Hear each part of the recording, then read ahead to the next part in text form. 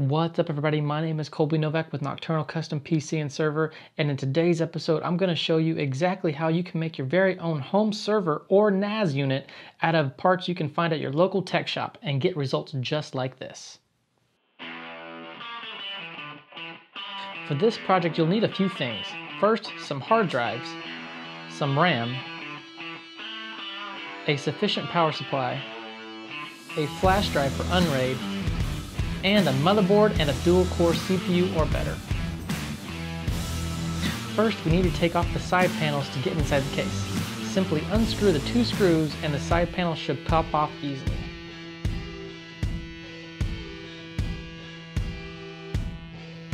Next, we need to install the CPU into the motherboard. Make sure to take note of the arrow on the motherboard and CPU. They need to align together. The CPU should, without force, slide into the socket. Put down the retention arm and your CPU is now installed.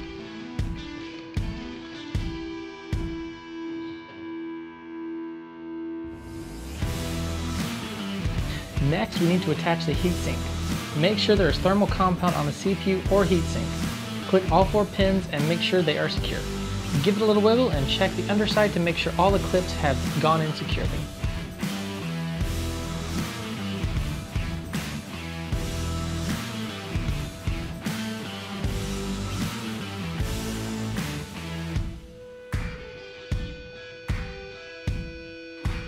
We need to now install the RAM. Be sure to look at the notch on the board and the RAM itself to make sure they are lined up before properly installing. Gently press down and you should hear a click. For Unraid, RAM is really not important. 4 gigabytes should do you just fine. For smaller projects, we've got an 8 gig stick for future expansion. Install the power lead for the fan into the CPU header on the motherboard. Line up the notch on the motherboard with the connector. Now it's time to put in the back shield. This is purely for aesthetics, so if your machine doesn't have it, it's okay. This is just to protect dust from getting inside the case. We need to now install the standoffs into the case. Depending on your board, this will vary from board to board. Match them up with the holes on the motherboard and screw them into place with the included screws. This is a must step. It protects the board from touching the case and shorting out. And we all know that's a bad thing. We don't want you losing data here.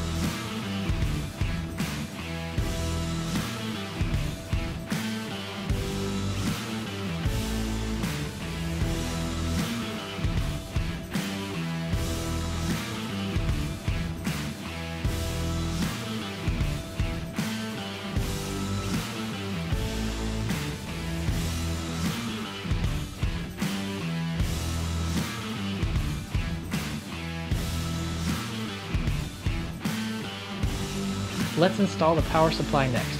Simply slide it into place and screw it down. Simple as that.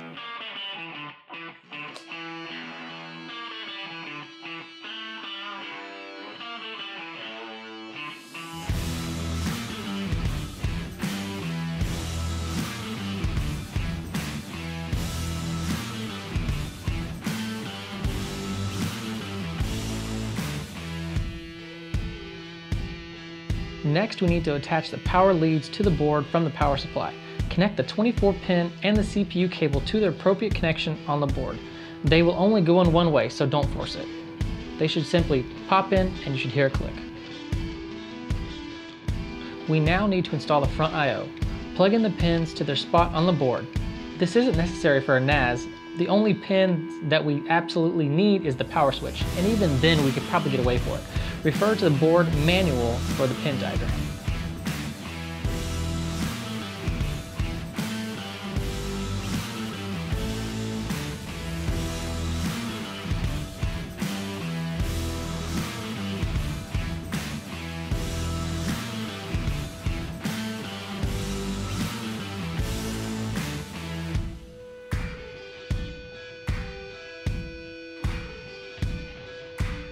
Now we can install our hard drives. Simply slide each drive and screw it into place. Repeat this for every single drive that you have.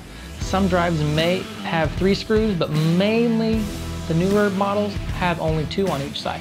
Bolt them into place to secure them properly. A little bit of cable management keeps dust to a minimum and lets the air go through the case nice and easy.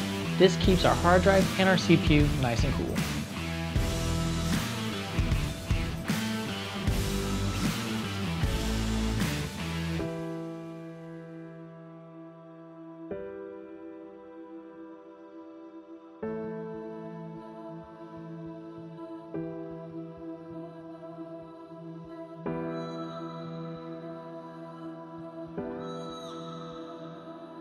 Now install the SATA power cables to the drives. Note the notch on the cable and on the drive. Line them up properly and plug it in. You shouldn't have to force this connection. It can only go in one way.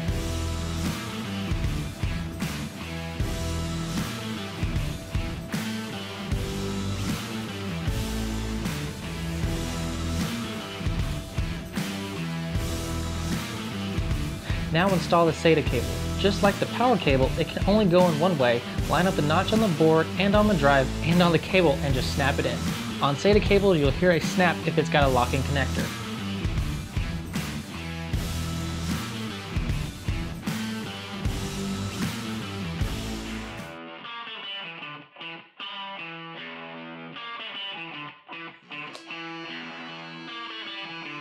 Do a little bit more cable management and you're golden, ready to install Unraid.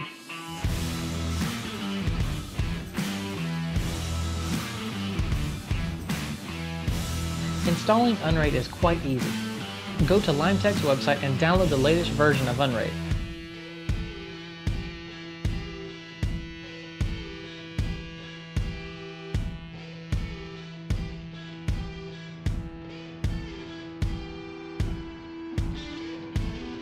Next, format the flash drive to a FAT32 and rename it in all caps Unraid.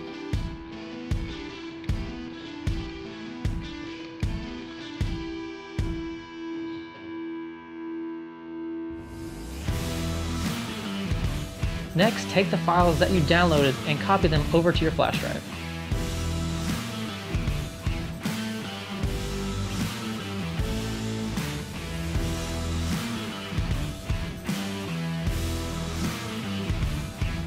On the drive, click the Make this bootable file and run as admin. Follow the instructions on your screen and you're set. Insert the flash drive into the new server and turn it on.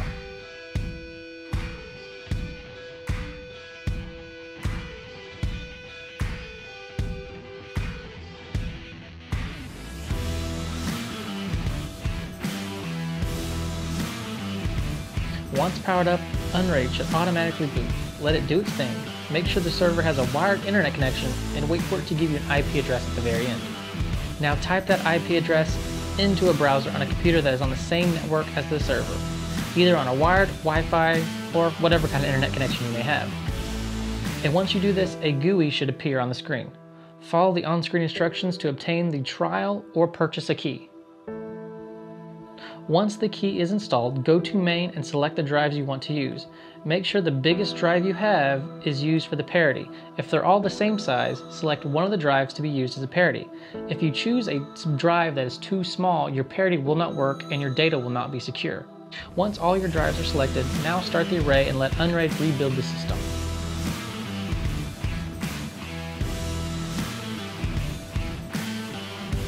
Next, let's add a few shares, that way we have the server all nice and organized. You can assign certain drives to certain shares, so if you have a quick RAID 0 array in the server, you can dedicate for that for one share. And if you have a backup RAID, like RAID 5 for instance, you can dedicate that RAID array to a certain share. That's a topic for another day and something that's way more complicated, so we'll cover that in a future video.